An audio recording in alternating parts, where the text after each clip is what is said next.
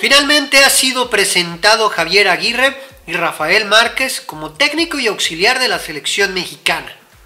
Sin embargo, en una larga conferencia que duró poco más de la hora, Javier Aguirre no tuvo más que poder pedirle a la afición una cosa. Una cosa es la que mínimamente exige el Vasco Aguirre. Y de esto vamos a hablar en este video. Mi nombre es Aldo Lara. Comenzamos. ¿Qué tal amigos? Como siempre es un gusto que estén aquí en el canal y antes de comenzar con toda la información quiero invitarlos a que se suscriban, a que activen notificaciones y en el momento en que escuchen sonar la campanita podrán consultar todos y cada uno de los videos que vayamos publicando aquí en el canal. También quiero invitarlos a que me sigan en mi cuenta de X arroba 21 y por supuesto a que dejen sus mensajes en la caja de los comentarios y antes de comenzar les quiero hacer una pregunta. Ustedes ya después de conocer la presentación de Javier Aguirre, ¿qué es lo que piensan que va a suceder de aquí al Mundial y después? Del Mundial de México, el proceso para el cual se supone ya está oficializado también Rafael Márquez. Los quiero leer aquí abajo en la caja de los comentarios y sin más vamos directo a la información. Muchas preguntas, muchas hasta cierto punto repetidas, pero hubo algo que quizás todos coincidieron como medios de comunicación y periodistas representantes en esta conferencia de prensa y se traduce en una sola pregunta. ¿Por qué creerles? ¿Por qué pensar que este cuerpo técnico, este director técnico que está como pues responsable por tercera ocasión con la selección mexicana, hablando del Vasco Aguirre, sin poner en tela de juicio su capacidad como técnico, sino porque otra vez todo parece se está repitiendo en el fútbol mexicano. Y el Vasco Aguirre pide algo, ¿sí? Pide algo que vale la pena escuchar. Aunado a que Isbar niega visiblemente pues, podemos decir nervioso, dio una respuesta. Vamos a ver.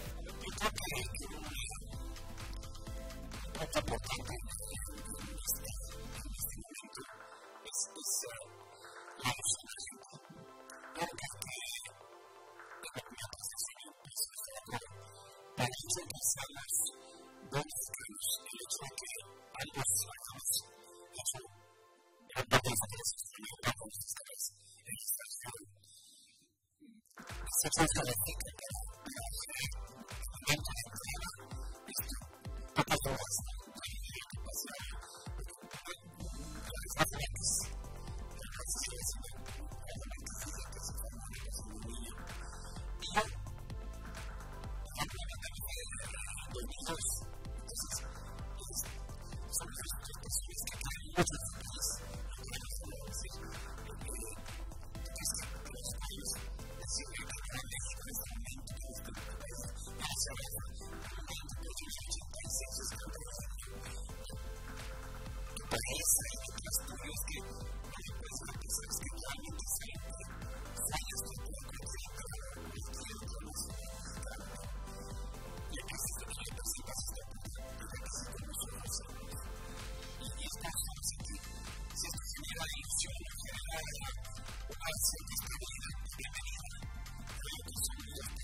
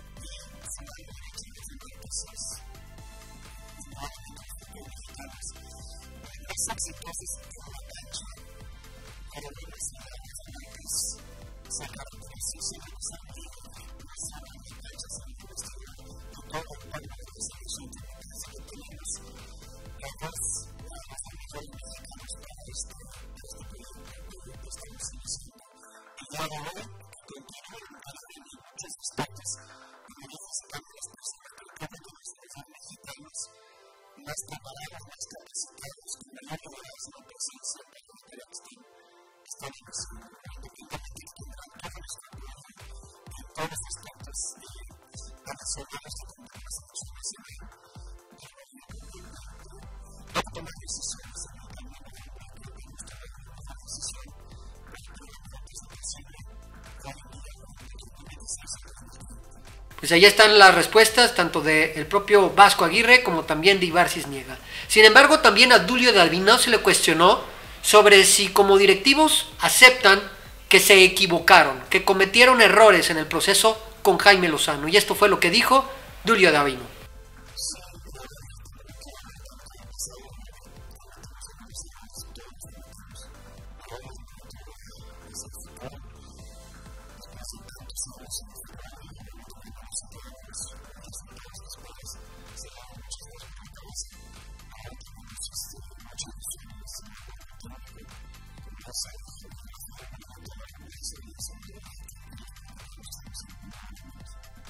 Pues ahí están las palabras de Dulio Davino.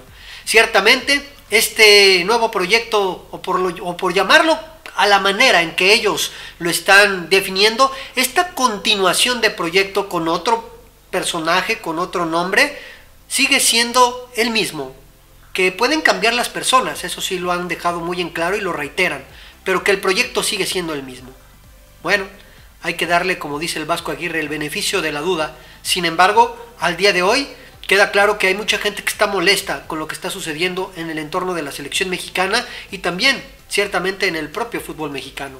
Al día de hoy, lo único que le restará a Javier Aguirre es intentar potenciar a un equipo nacional que al día de hoy no tiene la exigencia de clasificarse al Mundial porque ya está clasificado al ser un anfitrión, no hay eliminatorias para el Tri y como tal es una buena oportunidad de por lo menos quitarle cierta presión al entorno Aún así, la presión como tal existe, porque en un proceso de cuatro años donde no hay justamente este tema de las eliminatorias, sí, la Federación Mexicana de Fútbol ya se devoró a dos técnicos, primero a Diego Coca y después a Jaime Lozano.